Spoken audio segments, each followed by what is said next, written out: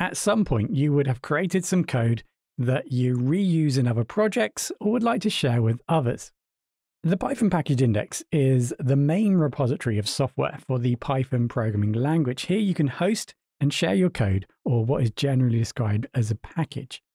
A package is a container, or can be described as a container that contains various functions to perform specific tasks. In this course, we're going to learn how to build and publish a Python package to the Python Package Index. More specifically, by the end of this course, you would have learned how to build a Django middleware package to inspect SQL queries executed by the Django application. There are five main sections of this course. First, we learn the basics of building a Django project, and then we move towards understanding how to build middleware, and then go ahead and build our very simple middleware a middleware which will inspect SQL queries that have been executed by the Django application and then print it out to the terminal. Once we have built the basic building blocks of our middleware, we then convert our code into a Python package.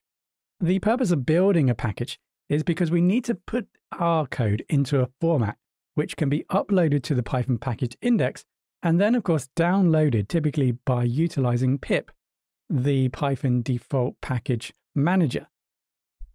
You may already be familiar with pip, downloading Django, for example, or installing Django before you start building a Django application.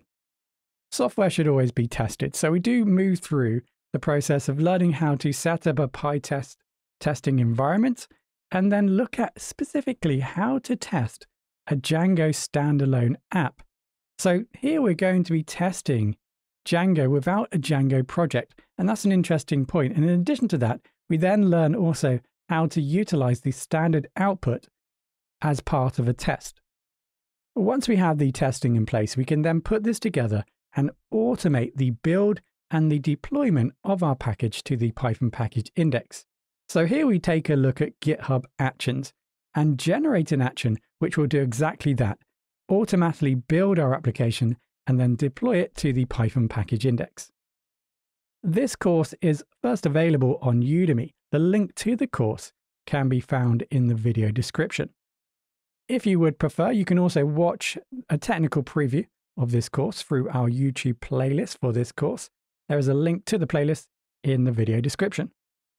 To avoid any confusion between the Udemy and the YouTube playlist for this course, remember that the Udemy course hosted at Udemy provides an ad-free learning environment.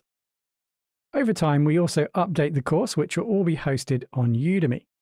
In addition to that, the Udemy course may have extended tutorials, as well as access to the source code and documentation for the course.